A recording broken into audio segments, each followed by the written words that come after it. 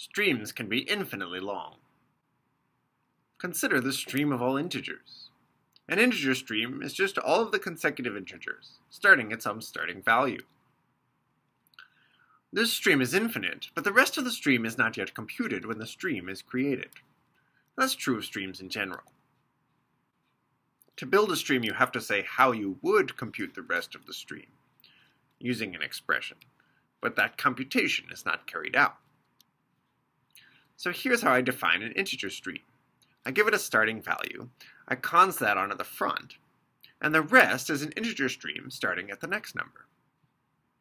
This is not evaluated until somebody asks for the cdr of the stream. So here's my definition.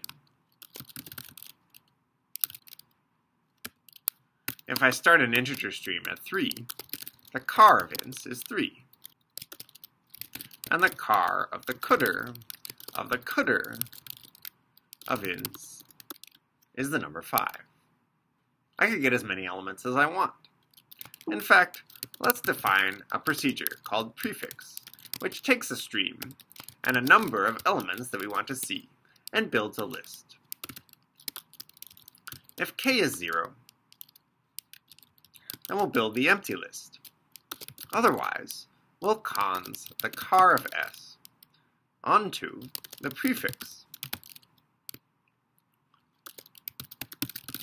of the cdr stream of s up to k minus 1. If I restart and redefine ints, I can get the prefix of ints for 30 different values, and that'll give me integers starting at 3 up to 32. So it is possible to access as much of this as I want, but the rest is never computed.